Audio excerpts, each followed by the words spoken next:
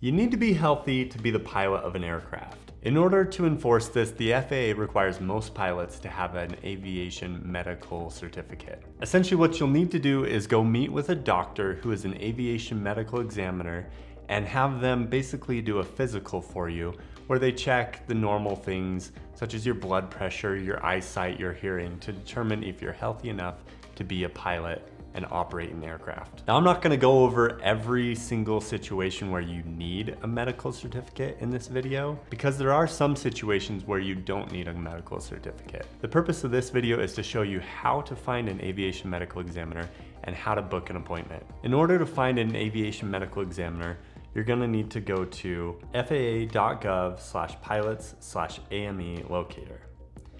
Once you're on this page, you're gonna go to search for an aviation medical examiner. Under designee types, you're gonna select AME or aviation medical examiner.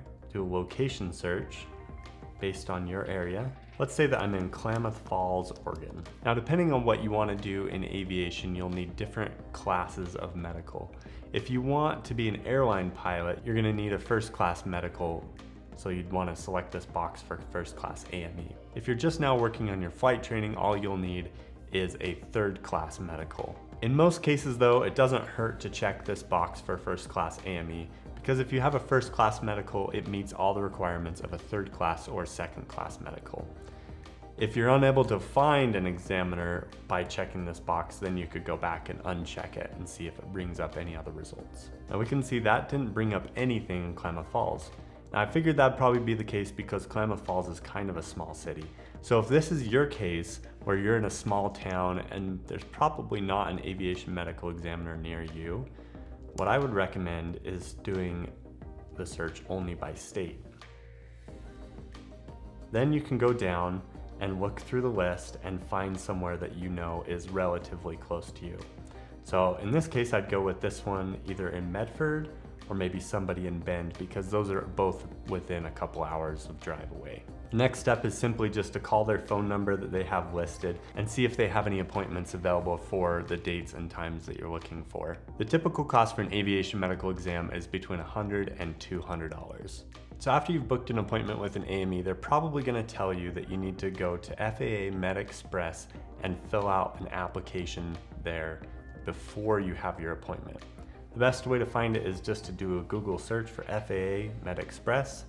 It's gonna pull up this result. Since this is probably your first time here, you're gonna request a new account, create an account, and then submit an application. The process is pretty straightforward and it just asks about your medical history and such.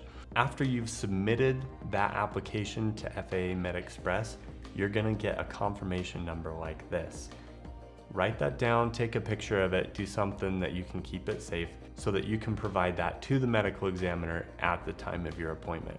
I hope this is helpful for you. Let me know in the comments below if you have any questions about how to get your aviation medical certificate and how to get that scheduled. If you're just looking into aviation and you're not sure if it's something that you want to do for a career, check out my previous video on how to find a school where you can do an intro flight to see if aviation is something that you really want to get into. Thanks for watching and I'll see you in the next video.